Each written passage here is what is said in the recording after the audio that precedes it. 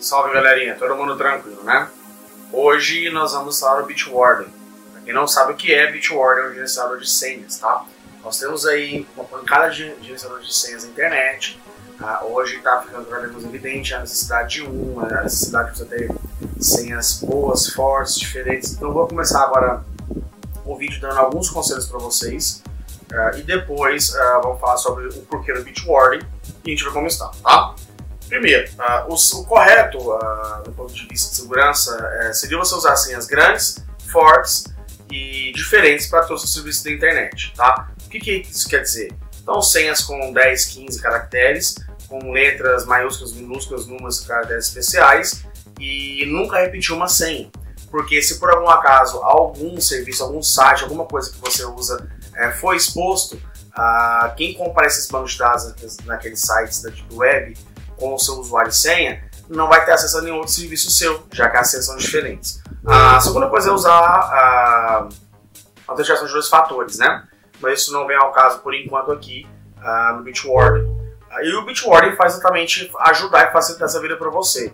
Uh, ao invés de você guardar isso aí no seu Chrome, no seu navegador e sincronizar o Chrome, inclusive o Chrome tem como você colocar uma senha mestre para sincronizar ele por causa das suas senhas e outras coisas, é, não é tão aconselhável, porque esses arquivos ficam no lugar padrão do sistema e é muito fácil extrair eles, tá?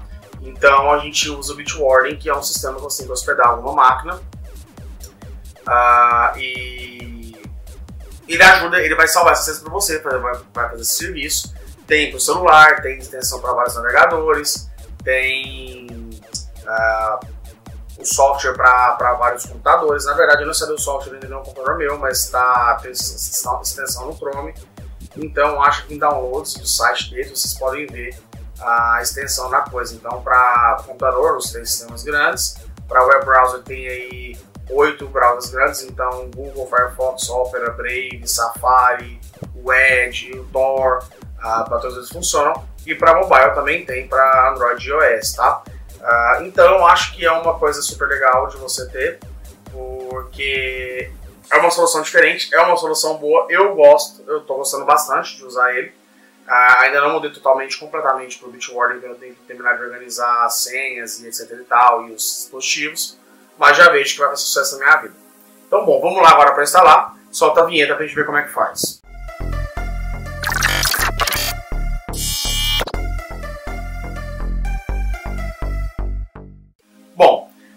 Bem simples, não é complicado, só que uma coisa é, o Bitwarden roda em Docker, tá? Então a primeira coisa que a gente fazer para instalar o Bitwarden é instalar o Docker no nosso computador. E nós estamos usando, mais uma vez, para variar, uh, o Linux, né? Então aqui ele uh, diz para você configurar seu domínio e tudo mais, sei o que. Uh, não vou passar por isso nesse vídeo, porque na verdade a gente vai pôr internamente. Quem quiser usar fora de casa, usa VPN por enquanto, tem um canal fazer isso. Porque questão de domínio aqui eu vou deixar para ensinar num, num, outro vídeo no futuro do canal, tá? quando estiver pronto na descrição aí, uh, sobre como fazer port forwarding, tá? E, então aí você vai poder simplesmente fazer um port forwarding para esse serviço seu aqui, junta o vídeo do port forwarding com o vídeo do IP, que também vai estar na descrição aí, para você saber como usar um domínio. Então, para não repetir ficar um vídeo curto, eu não vou explicar aqui agora, tá? Supõe-se que está bom.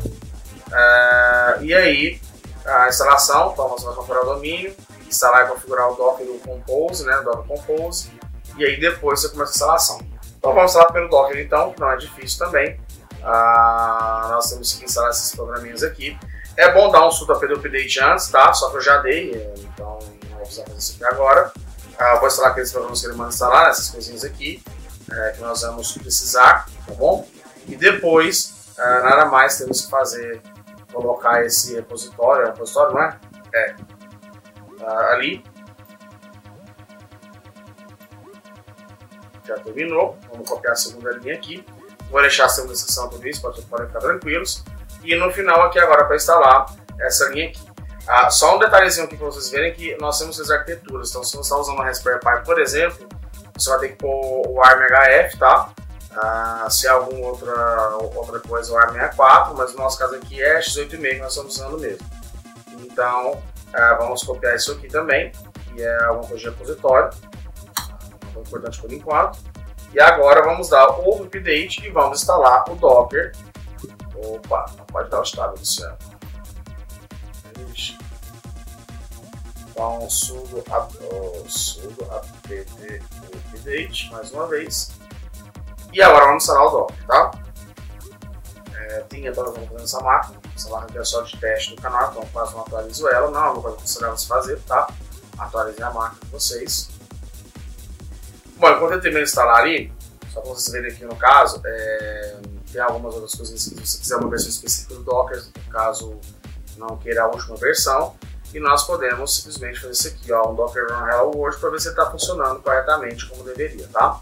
É, posso estar de pacote caso você não consiga, então no caso do Debian aqui, é, vai baixar o pacote daqui, enfim. Tem outras maneiras de instalar o Docker se você quiser. É, só passando aqui por cima do site mais ou menos para vocês verem, né? Então terminou ali, vamos rodar Hello World para ver se ele funciona, tá? Ah, tá, tem que baixar o Hello World. É, ele tá baixando, tá por isso aí. Então, ah, tá aqui. Na verdade, tá aqui então. Ó. Hello from Docker, tá? Funcionou.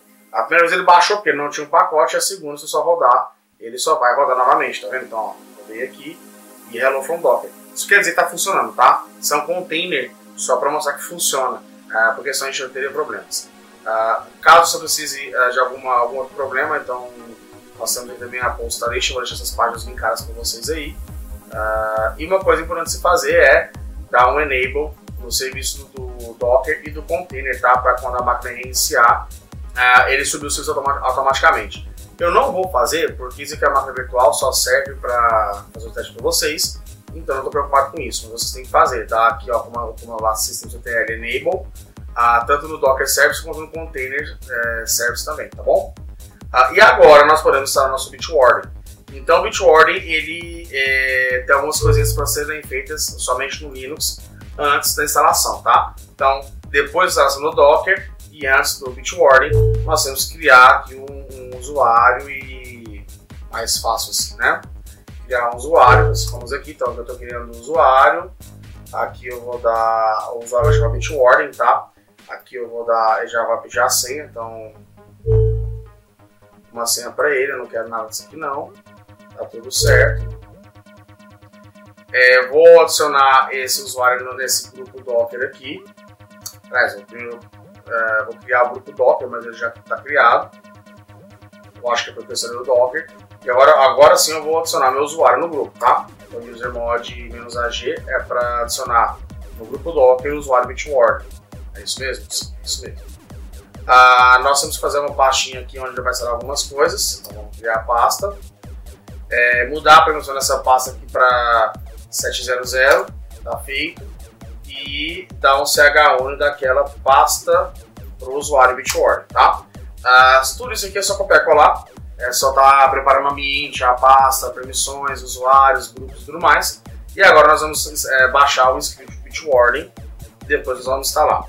Esse script Bitwarden, ele é legal porque o cara que fez ele aqui, o pessoal aqui fez o seguinte, você tem a. Se você fazer algumas coisas no Bitwarden, por exemplo. Aqui nós temos o install para instalar, né? Quero mostrar para vocês outra coisa. Tem outros parâmetros para a gente poder fazer. Por exemplo, se você mudar alguma, alguma configuração, uh, por exemplo, nesse arquivo aqui, ó, config.yaml, você tem que fazer um rebuild dele. Então você tem que manter o script, não apague ele. Só roda o script novo com o parâmetro rebuild na frente, tá vendo? E restart também tá aqui, caso você queira. Bom, mais uma vez o start para iniciar, né? Não é um install. Então, é, o script é importante. Então, sudo barra bitwarden e eu vou dar agora o install que nós precisamos, tá? Aparentemente o problema era que o Docker Compose não estava instalado. Ele deveria ter sido instalado quando nós instalamos o Docker, como eu passei correndo muito rápido pelos comandos ali para deixar o vídeo curto, ah, não apareceu. Então se você tivesse erro, assim como eu tive dessa vez aqui, só instalar docker barra compose ah, que ele vai funcionar. Agora eu instalei e agora quando eu tento dar um install ele vai funcionar e começa a script como deveria, tá bom? Então, bom, mais uma vez eu vou falar a questão do DNS. Eu não vou falar sobre isso aqui agora, então vocês é, é, usem, assistam o vídeo aí de port forwarding e no IP com os dois, vocês vão ter conhecimento suficiente para fazer o DNS funcionar, então é só no IP criar um DNS, instalar o, o Duke aqui no, no, no, seu Linux e depois no seu modem no port forwarding e mandar ele encaminhar a porta ah, para cá, beleza? Então eu vou colocar um DNS que talvez não funcione, é, vou pôr assim, git warden.local ah, mas se não funcionar, não tem problema, eu mostro no meu instalado para vocês, como eu já tinha configurado o DNS e o port forwarding, ele funcionou, tá bom? A segunda coisa, sobre o Let's Encrypt. Quando eu tentei fazer a primeira vez, não deu certo, eu não consegui criar o certificado SSL, tá? Não, não com Let's Encrypt, não sei porquê, mas não tem problema se vocês não conseguirem criar com Let's Encrypt, porque se vocês não conseguirem, ele vai apresentar agora uma opção, vou pôr aqui não para vocês, tá? uma opção de você criar o certificado você mesmo, fazer o certificado autoassinado. Qual é o problema do certificado autoassinado? Ele continua dizendo que não é confiável quando você vai abrir o site, mas uh, uh, menos importante, porque ele continua tendo o certificado SSL e continua utilizando né, a, a, criptografia. Então, eu vou pôr não aqui no nosso Let's Encrypt, caso você dê errado, é só rodar o programa de novo, uh, que ele vai é, colocar não você quer tentar, tudo bem? Eu não sei porque o meu não deu certo e não tentei duas vezes. Então, pois não. Ah, o nome da database, por exemplo, colocar Bitwarden aqui.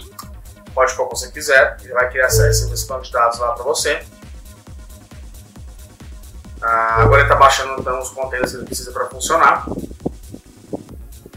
Esse processo pode demorar um pouquinho, então é, se não tiver mais nenhuma pergunta aqui nem nada, eu já volto com ele funcionando. Se tiver, eu volto com a pergunta. Ah, bom, voltamos. É, e esse Installation ID, o que, que é? Tá?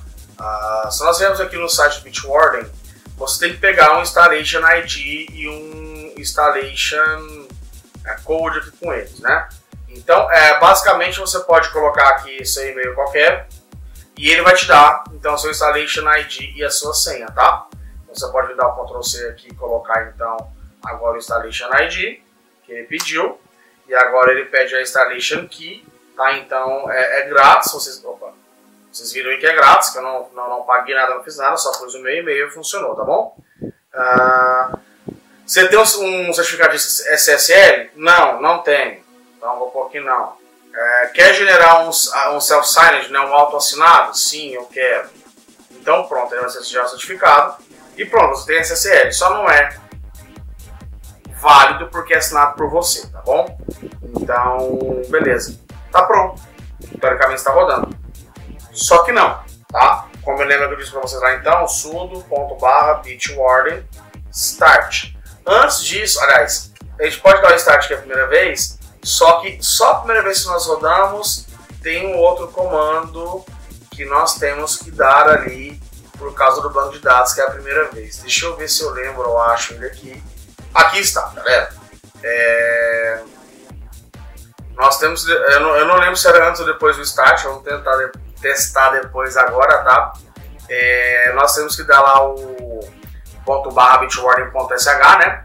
Com update db, beleza? É... Vamos ver se ele não vai dar problema aqui, porque isso tem que ser feito só na primeira vez, tá? Caso você reinicie a máquina, coisa e tal, é, podem ficar tranquilos que não precisa fazer isso mais não. Uh, talvez só o Bitwarden Start. Bom, voltamos aqui. É, vamos dar então aquele comando que eu falei para vocês, né? o sudo.barra bitwarden update db. Tem que ser feito. Eu não sei ao certo a gente vai fazendo depois. É, aconselho vocês fazerem antes, tá? mas segundo ele está funcionando já. De qualquer forma, vamos tentar abrir aqui já. A gente vai lá então o endereço bitwarden.local, né? Eu não sei se vai funcionar aqui pela questão do DNS. Bom, terminou aqui a, a nossa migração na banco de dados. Eu acho que ter feito antes mesmo, estava decidido depois, mas tudo bem. É... Façam antes, tá bom? Uh, aqui eu coloquei então o nosso endereço de IP, já que o nosso DNS não vai funcionar, então como eu disse, é, uh, não seria importante para esse vídeo, mas para vocês usarem fora de casa sim vai ser importante. HTTPS, tá? Uh, o nosso IP e pronto, ele funciona na porta, nas portas padrões. E aqui acontece isso aqui, tá vendo? Ó, o certificado é uma potencial ameaça de segurança. Não é, porque é a gente que assinou. Então não tem problema.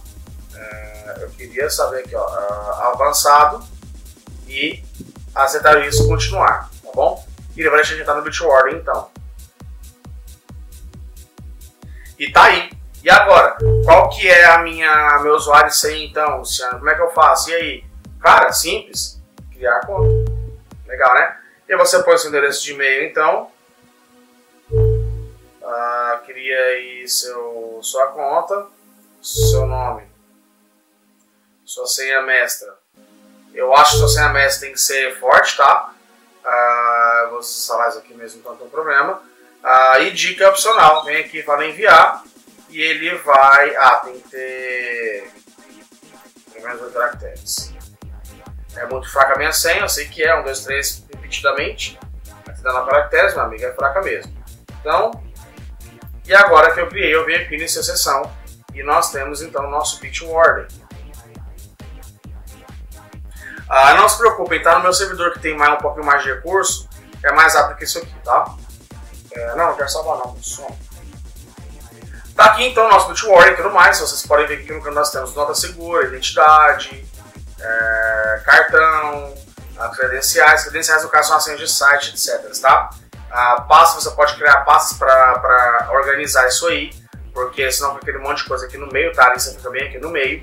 É, uma dica agora, se vocês quiserem, no Firefox eu não sei, eu não uso Firefox uh, pessoalmente. Em algum lugar aqui deve ter as senhas guardadas para quem usa. Então senhas, né? Uh, contas salvas, acho que deve ser aqui daí eu acho que tem como, quando tiver, uh, nós poderíamos exportar essas senhas. Uh, sinceramente não sei como, e como eu não tenho nenhuma, não aparece opção de exportar aqui não. Mas no Chrome sim nós temos, deixa eu mostrar aqui para vocês. Vai ficar muita coisa borrada, viu galera? Desculpa aí, mas paciência. Então no Chrome se nós vermos aqui em configurações, senhas ah, e agora me aparecem minhas senhas aqui. Nós podemos vir aqui nesses três pontinhos e exportar senhas. Ele vai dar um aviso de que ela vai ficar em arquivo aberto, qualquer um pode ver as senhas, você vem e clica em exportar. Ele vai criar um arquivo CSV, tá? E aí nessa hora, ah, aqui no nosso Bitwarden, vamos voltar no Bitwarden, ah, nós podemos vir aqui, ferramentas, e importar dados, tá? E você pode importar aqui o que você vai importar. Então, olha só.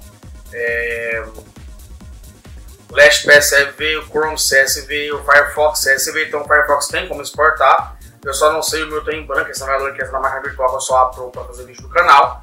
Então, não sei porque não tem nada, não, não apareceu a opção de exportar ali, mas não tem nenhuma senha. Então, KeePass, o LastPass, que são gerenciadores que vocês podem ter aí, Dashlane e tal. Tudo aqui as opções para vocês exportarem, tá? ou pode copiar e colar o texto aqui, uh, ou pode, uh, bom, se vocês selecionarem aqui, por exemplo, eu quero um CSV do Chrome, e daí eu venho aqui e clico em Browser. Aqui também, quando você seleciona alguma coisa aqui, ó, ele mostra uh, maneira de como fazer, tá? Um tutorialzinho para vocês em inglês. Uh, e pronto, tá aí seu Bitwarden, e é isso aí. E você posta lá no celular. A mesma coisa que você colocar aqui, ó, como endereço, você vai ter que pôr no celular lá, para você falar que é self-host, tá? É... Não é difícil fazer, eu não tenho como fazer porque o meu está instalado, mas é... vai ter uma engrenagemzinha bem no cantinho assim, esquerdo que mostrar para vocês. Talvez eu ponha um print, um print dessa parte. Ah, mas é isso aí, galera. Fácil, simples e agora vocês têm seu próprio gerenciador de senhas, tá? Temos algumas configurações aqui ah, sobre algumas coisas de e segurança né, se você estiver com, com perigo, né, ah, uma coisa, desautorizar sessões ou quando o motor logado cai, excluir a conta ou limpar o cofre, caso você veja algum problema. Uh, aqui nós temos a tal da, da, frase biométrica, eu não sei, eu nunca tive que usar isso ainda, mas dizem que em algum lugar nós teremos que usar, quando você com um aplicativo, alguma coisa, eles vão perguntar essas palavras aqui. Eu ainda não tive essa, essa experiência, tá? outras opções aqui também, ah, como o tempo do cofre quando expira para bloquear de novo, se quando você sair, iniciar a sessão, só bloqueia e tudo mais, tá? Então, pode pôr fotinho aqui, se não me engano, pode? Parece que não. Bom, a login duas etapas, tá? O meu tá, tá, tá ativado com esse o autenticador aqui, achei ele, um aplicativozinho. A regra de domínio, só se tiver com o domínio personalizado, mas enfim. E é isso aí. Bom, galerinha, espero que vocês tenham gostado, tá? Espero ter ajudado vocês e até a próxima.